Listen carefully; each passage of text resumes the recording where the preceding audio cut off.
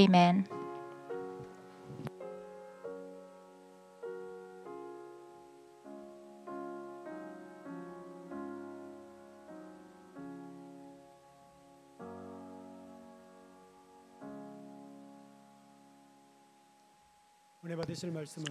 Today's scripture is 1 Corinthians 13, verse 1 to 13. Let me read it with a reverence.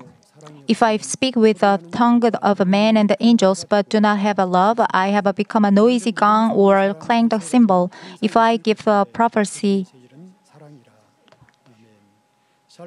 Amen. An anthem by the Emmanuel Choir and the Nissi Orchestra is next.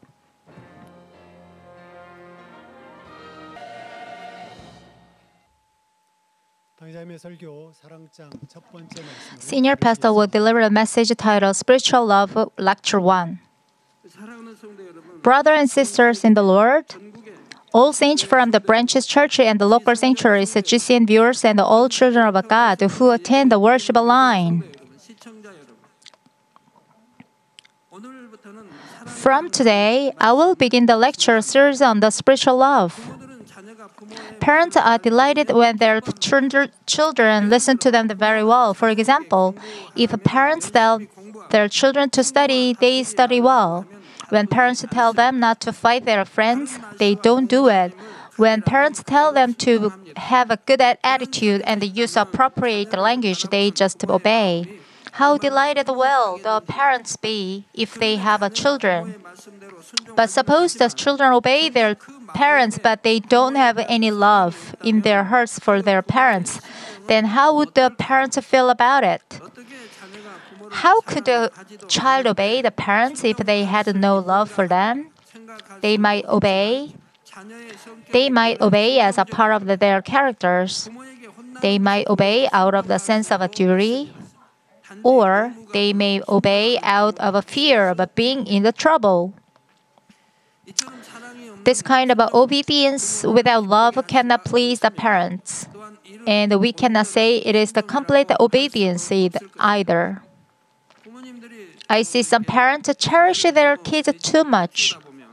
So they are so glad to pay for their uh, running errands.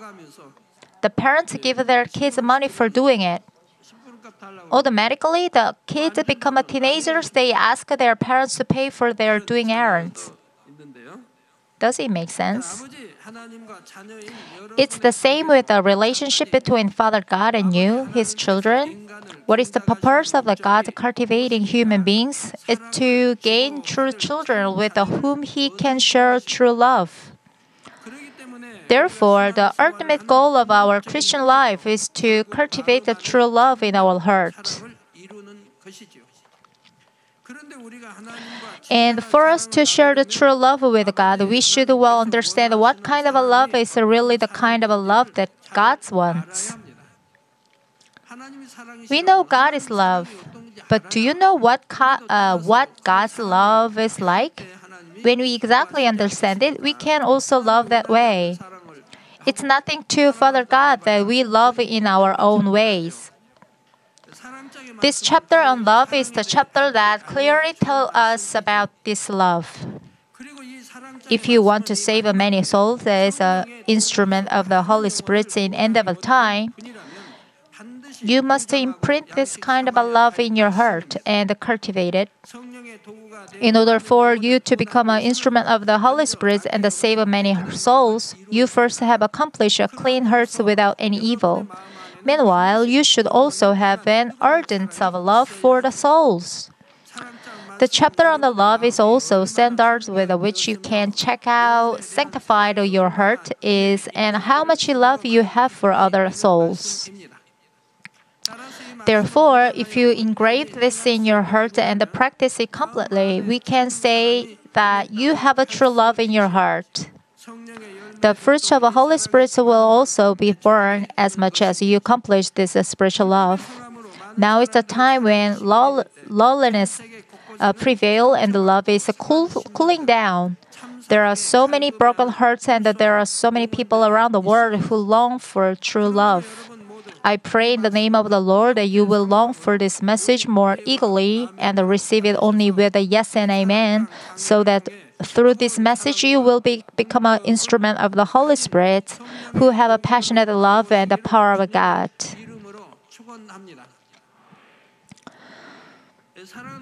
Dear brothers and sisters in Christ, before we get into the, each verse of the chapter on the spiritual love, let us look into general contents of this chapter and the background of the writing this book. When taking a look at the Bible, there is a chapter about the specific figure like a blessing chapter, the marriage chapter. And the chapter about the warning of the worshipping idols or the beatitudes or the nine fruits of the Holy Spirit. Now,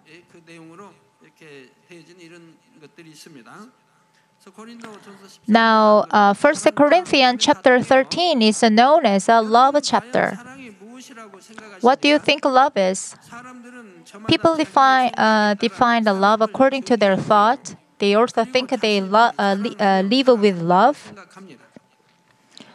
What is so heartbreaking is that if they love, they should be happy, but Instead, there are many situations where they are hurt and suffer pain in their hearts.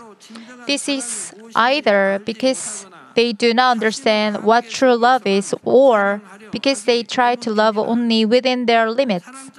In this chapter on spiritual love, we can see the kinds of love that God considered true, that we men consider real love. It also tells us in detail about why we have to love and what love is. Therefore, I hope you will understand what true love is uh, uh through this message and practice what you hear immediately so that you will be able to confess that you truly love the love.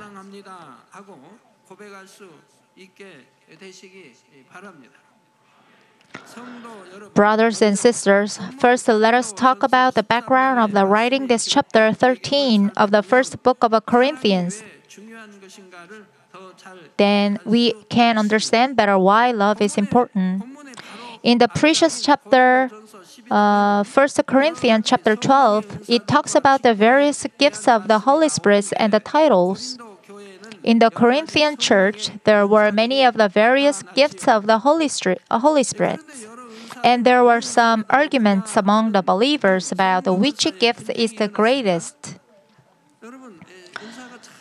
Uh, there are many spiritual gifts, like a power, ability, and preaching the Word of God. Then, which one is the best? First Corinthians chapter 12 verses 7 says, But to each one is given the manifestation of the spirits for the common good. As said, various gifts of the Holy Spirit are given by God for the benefit of the faith of the believers. But sometimes we can see some problem rise because of these gifts. For example, there are some people who say they have received the gifts of the healing or gifts of the prophecy and break the order of the church. Just as the people who do sorcery in the world, they lift themselves up and ask for money and seek their own benefit in exchange for the service of their gift. The gifts of the Holy Spirit can be never being selling or buying and it's rare to get a gift of the prophecy.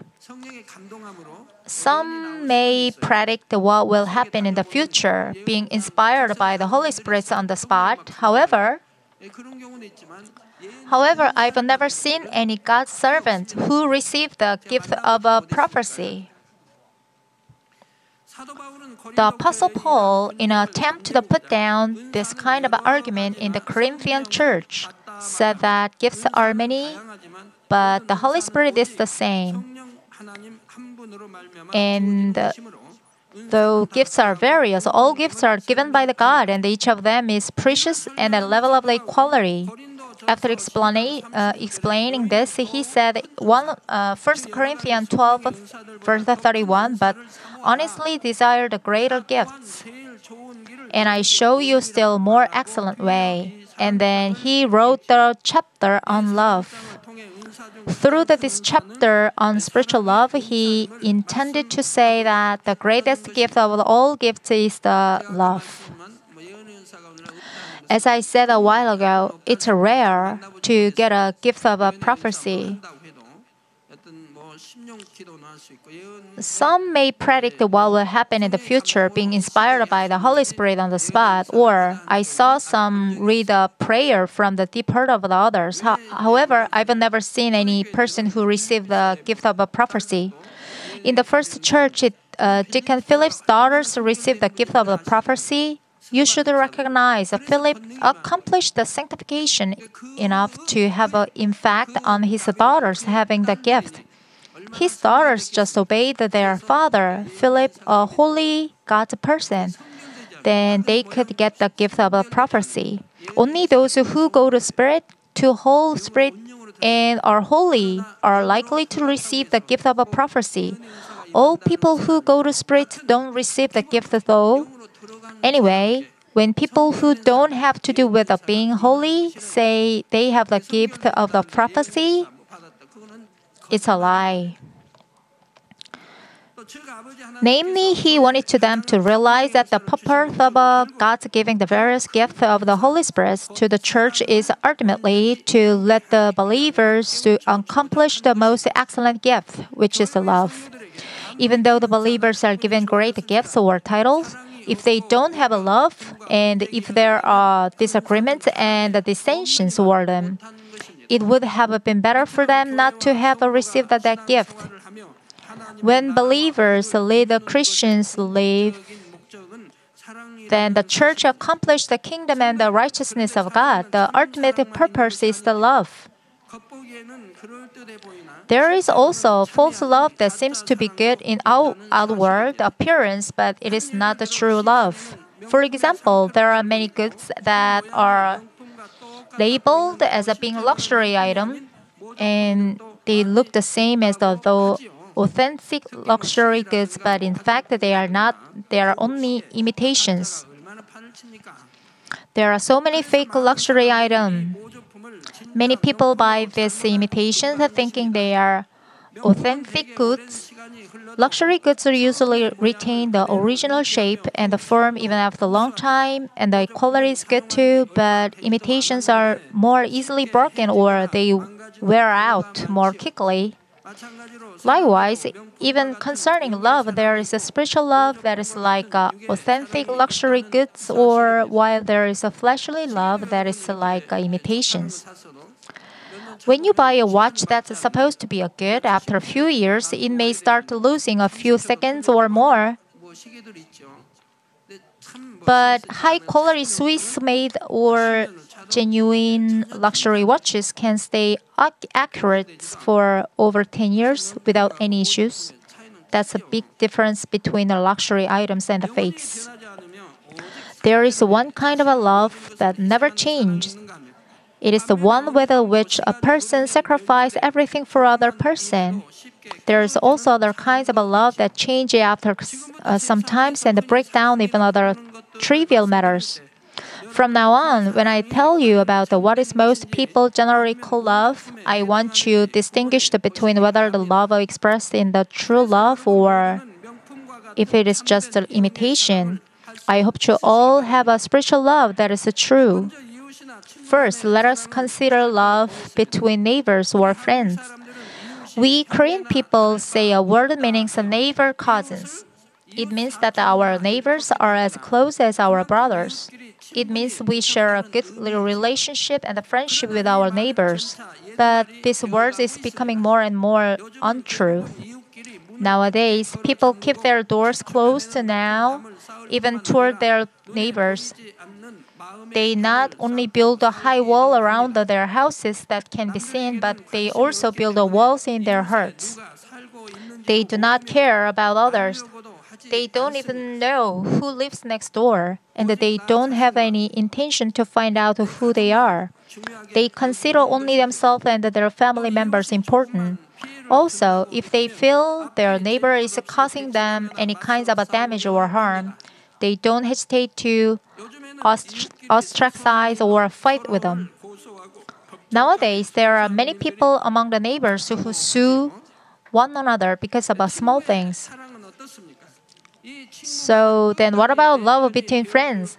Many people have the, have the experience in which one a person thought that particular friends would always be on their side, but betrayal by that friends left them oh, one thing I need to empathize and move on. Let's say when one of the best friends or one of the loving sibling asks you to lend money or to offer collateral because he's on the verge of the bankruptcy, saying he will pay back soon. He's asking seems unsure to get back your money, feeling risky to borrow your money or offer collateral. So you carefully turn down his asking, then he feels so sorry you saying to you, Are you my real friend? I would trust you, but you betrayed me? He might use the word betraying like this. He might he might end the friendship with you saying, I used to love you. Let's think about it. Who betrayed the first? The friends who ask you to offer collateral actually uh, betrays you first. If he's your true friend, he wouldn't ask you the favor that can be too much burden to his friends. Friends, you. What if he completely fail? Then not only his family, but also the family of his friends, your family, also would go bankrupt. Is he love to him? Does he mean to friendship to him? It's fake love. It's nonsense that requiring something to risk is able to in a friendship. No way.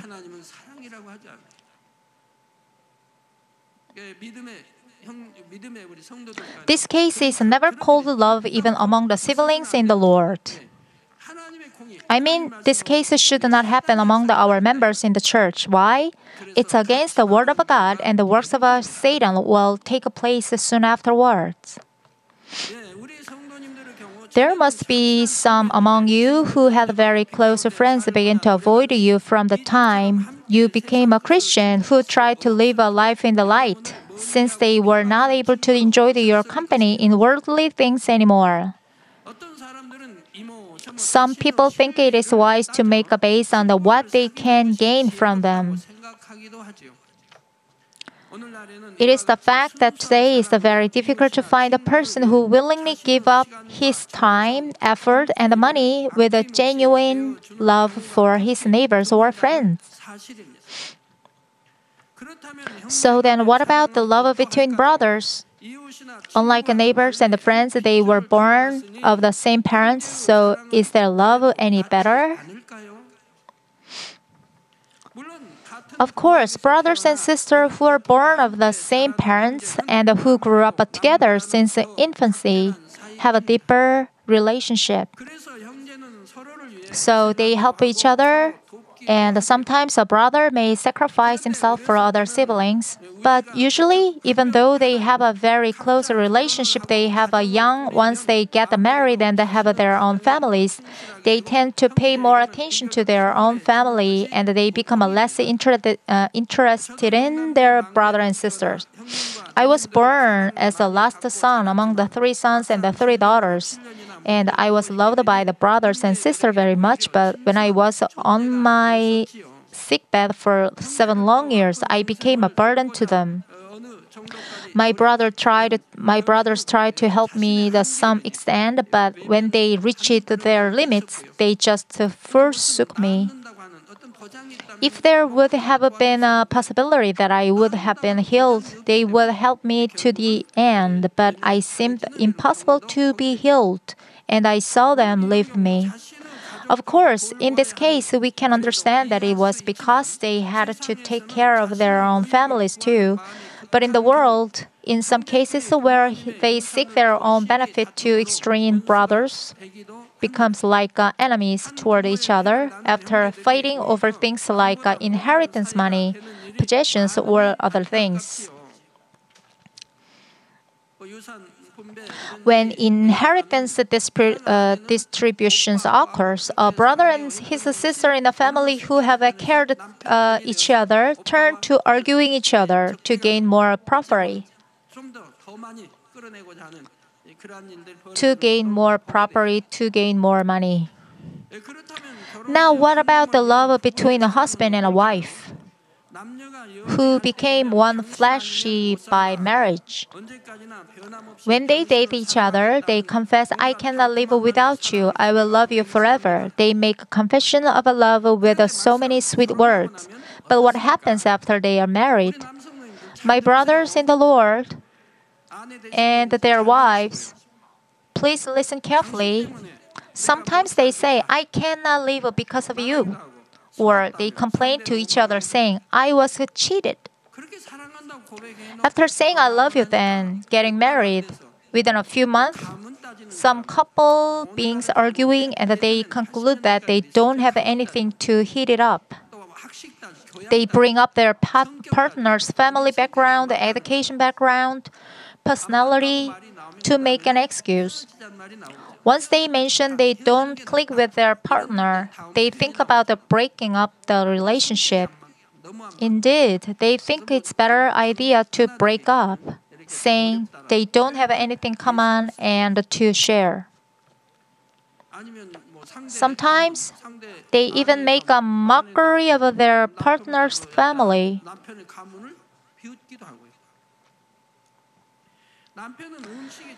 The husband, when he doesn't like the cooking of his wife just a little bit, may complain bitterly against his wife. If the husband doesn't make enough money, the wife would being to complain, giving trouble to her husband, saying that her friends are be, uh, buying homes and buying good cars and so on. Some wives provoke their husband to anger, saying, when does your promotion happen? Nowadays, there are some married couples who live in the same house but never talk to each other. Looking at the statistics about the Koreans' domestic violence, almost half of all of a couple suffer violence in their homes from their spouse, spouses. To put it simply, many husbands punch and hit their wives. What about you, my brothers? Maybe you don't write brothers? I can't imagine other elders here do it.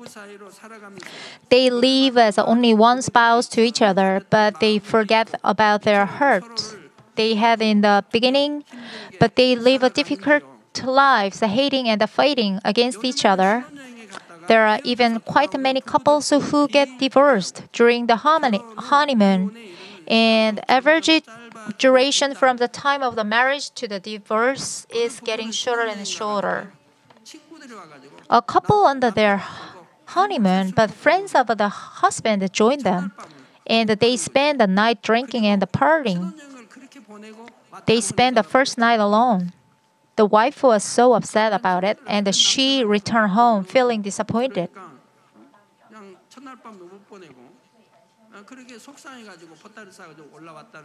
She she just left alone at the first night.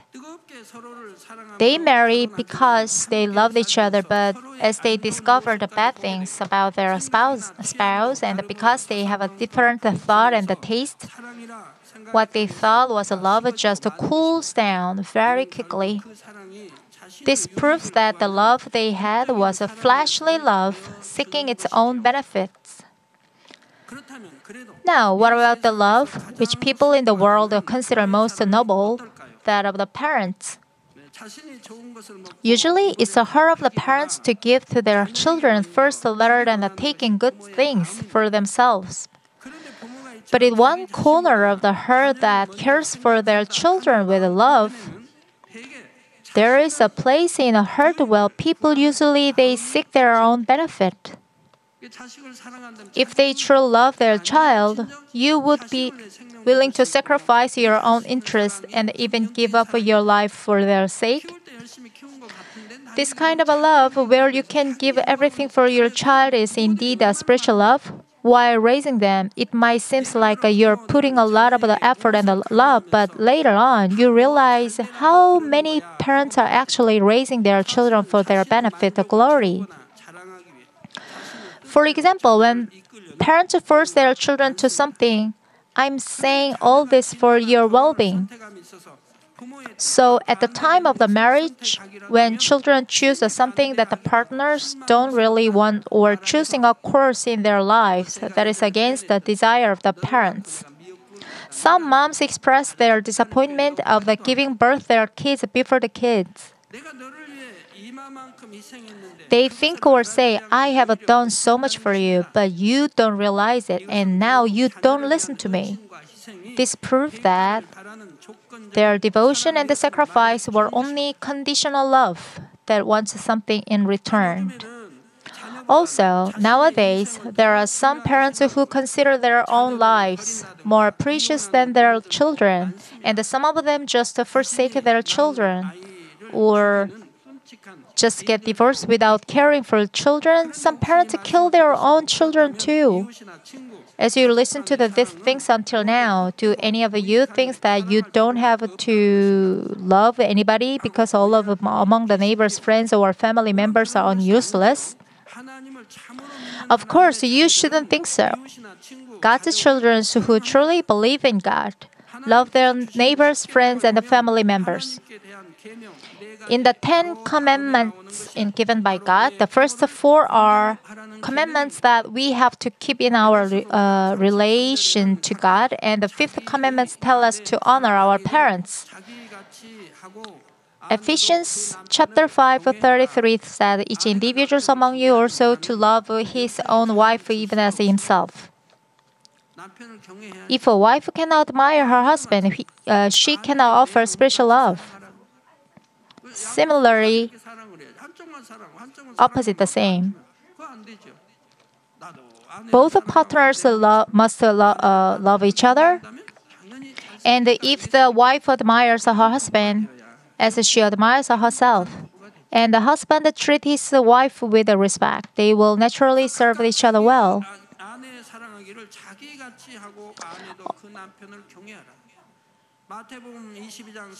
Also, Matthew chapter 22, 39 says, The second is like this you shall love your neighbors as yourself.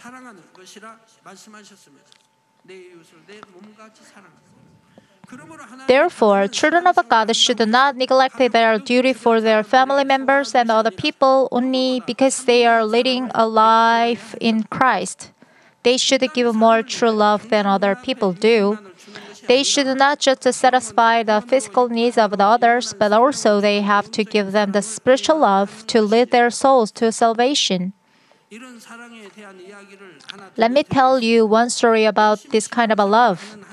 There was a one deaconess who was diligent in her Christian life. Her husband didn't attend the church, but rather he persecuted his wife for attending church.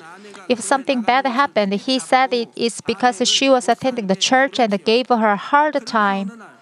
Then one day she began to attend the dawn prayer meeting. She always carried a pair of her husband's shoes with her.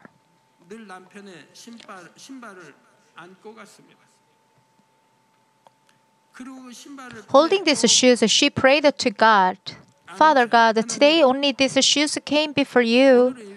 Next time,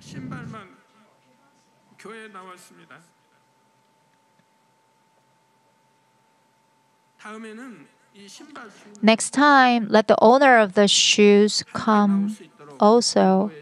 She prayed with tears every day.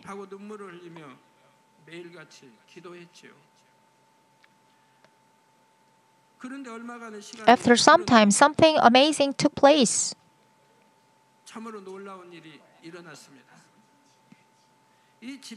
The husband of the distacanist began to attend the church with her. When, when he was leaving for work every day, he felt it was strange that his shoes were always warm in the early morning during the cold of a winter. winter. 신기하여 이를 이상히 여기게 되었지요. 그러다가 자신의 One day, 신발을 he saw his wife going to pray with his shoes pressed against her 거기에 as she carried them. 남편은 아내의 그 He was 사랑과 touched by the love and sincerity of his wife, and he stopped persecuting his wife. He then became a good believer, attending church with his wife. Brothers and sisters, who in this world can pray with love and tears for those who persecute and curse at him or her? Also, in this world where people live only for themselves, who can spread the love to neglected neighbors with a true heart, sacrificing themselves even in the face of the disdain? It's God's children who received and learned true love from our Lord. I think many of you have experienced pain in the heart because of a flesh love before you came to know the Lord. But when you were feeling the pain and the loneliness because of that uh, the meaningless love, there was one who comforted you and became your friend. Who is it? It's our Lord. Isaiah chapter 53, verse 3 says, He was despised and forsaken of a man a man of sorrows and acquainted with the grief. And like one from whom men hide their face, he was despised, and he did not esteem him. Esteemed him. Jesus had no faults, but he was despised and forsaken by men. Also, Jesus suffered from many hardships and property. He knows the pain of the disease very well, too, being acquainted with the grief. Therefore, he understands and knows the heart of a man very well. Jesus forsook the heavenly glory and came to this earth. He went the way of the suffering just like a man and became our true comforter and friend. He gave us a true love that world cannot give until he was crucified for us. Dear brothers, if you have received a kind of a, a kindness and grace from your wives today, please show them this kind of a love. Give them the love you haven't given before, abundantly and sincerely. However, wives, please don't react like this way. Oh, you will change it.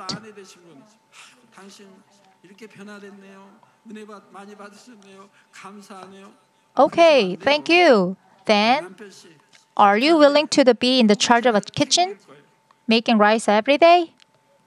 Smart wives would respond like, Oh, Mr. Harvey, you are our breadwinner, supporting our family. Leave the chicken to me and let me you do your best on your own work like business things, doing volunteering work for the church and the praying. How beautiful they would be. But sometimes the husband cooking for his family sounds so great. Then his family will be on cloud nine on their dad's cooking day. The husband might be served by his wife with a greater dinner next time.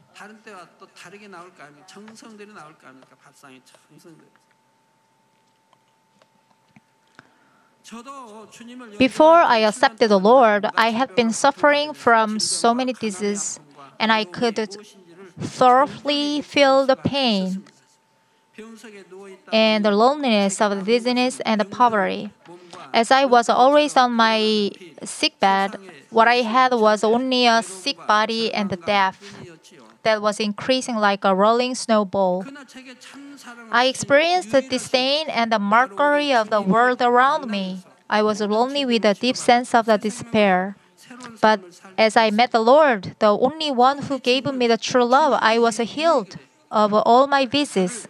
I gained a new life. Indeed, our Lord's mm-hmm. love for us is not solely for His own benefit, and He did not heal me just for His own sake.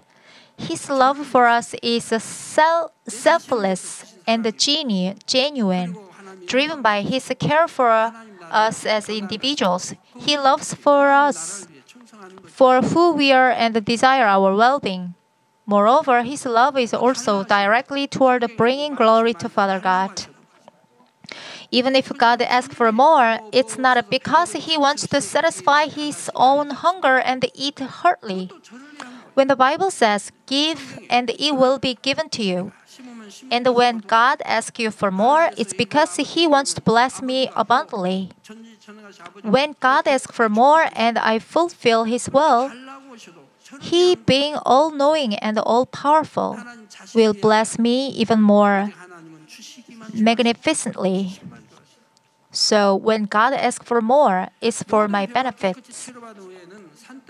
After I was healed of all my disease completely, I had to begin from the very bottom with so much depth in my hands. I had to work from the early morning till late evening on a construction site. Five of us had to live in a one room house for quite some time in a solemn area.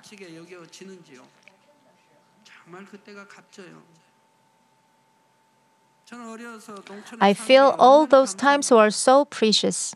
I'm grateful I'm, I'm, for, I'm for growing up in the countryside when I was young.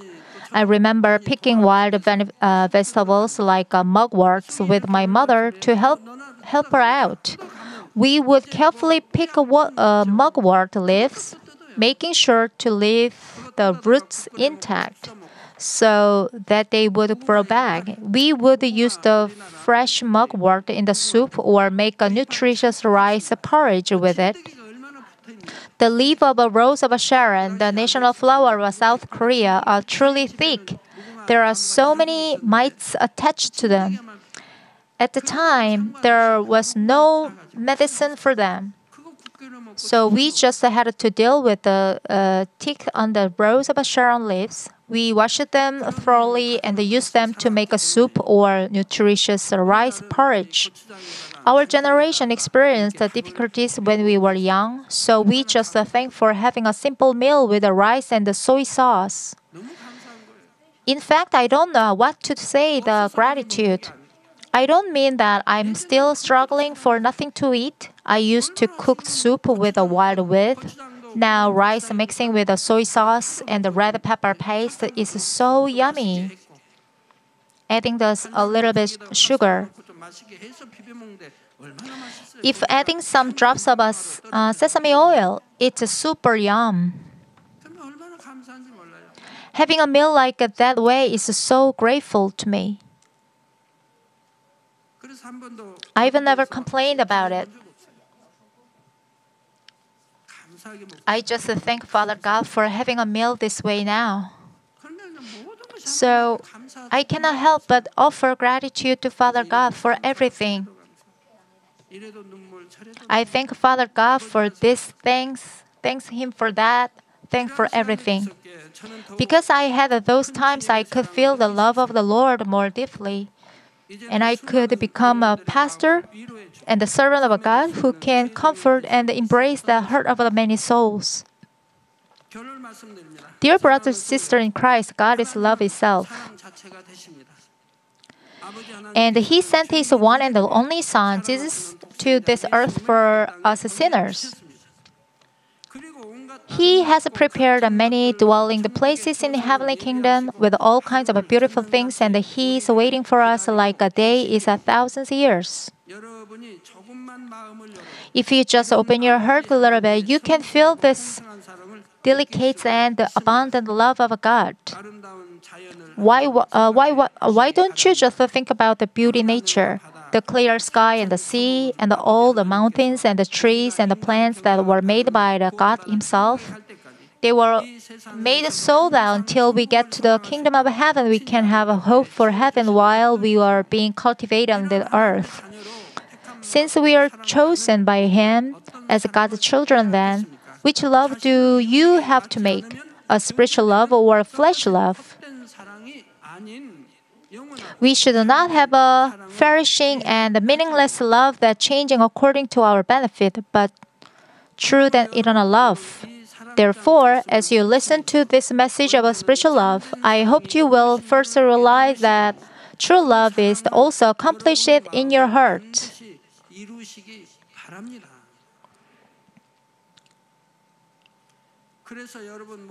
I hope you will show your true love with God the Father not only in the kingdom of heaven, but also while you are here on the earth day by day until you get to the heavenly kingdom.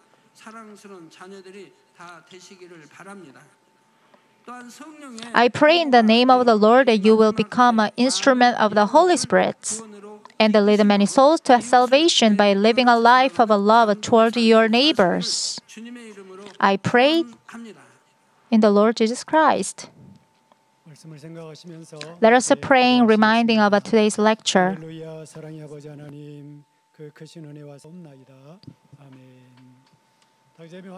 As we receive the senior pastor's prayer for the sick on the video, place your hands on the ill or weak part of the body.